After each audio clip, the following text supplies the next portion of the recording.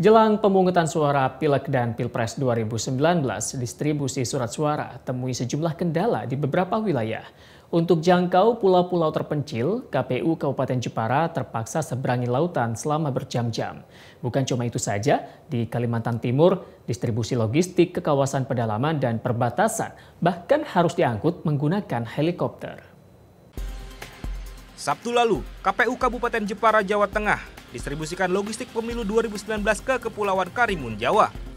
Di Kecamatan Karimun Jawa terdapat dua desa yang letaknya berada di pulau terpencil, yakni Desa Nyamuk dan Desa Parang. Untuk menjangkau dua pulau tersebut, KPU Kabupaten Jepara harus mengangkut logistik pemilu gunakan kapal kecil dan seberangi lautan selama dua jam.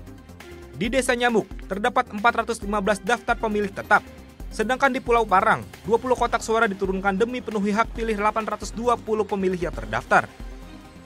Mestinya logistik itu sudah sampai di desa, sudah sampai di tingkat PPS, ternyata karena terkendala cuaca kemudian kita harus uh, mundur dan sehingga harus ada jaminan bahwa pada saat hari H pem, uh, pemungutan dan penghitungan suara itu logistik sudah sampai di lokasi 4.300 lebih lembar surat suara untuk Kabupaten Mahakam Ulu diterbangkan melalui bantuan udara milik TNI Angkatan Udara.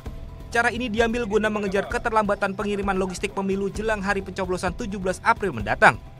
Kabupaten Mahakam Ulu terletak di pedalaman Kalimantan dan berbatasan langsung dengan Malaysia. Pengiriman melalui udara tak selalu berjalan mulus. Selain kondisi cuaca, kondisi topografi lokasi yang memiliki medan sulit pun jadi salah satu terhambatnya pasokan logistik pemilu. Yang pertama memang e, daerah di sana relatif lebih sulit dijangkau apabila menggunakan e, jalan darat maupun jalur sungai. Yang kedua e, berhubung dengan pertimbangan kecepatan agar logistik pemilu bisa sampai tepat waktu sebelum pelaksanaan pemilu tanggal 17 April 2019. Kodam 6 Mula Warman telah menyiagakan seluruh armadanya termasuk Angkatan Udara untuk mengantisipasi kendala pelaksanaan pemilu serentak 2019.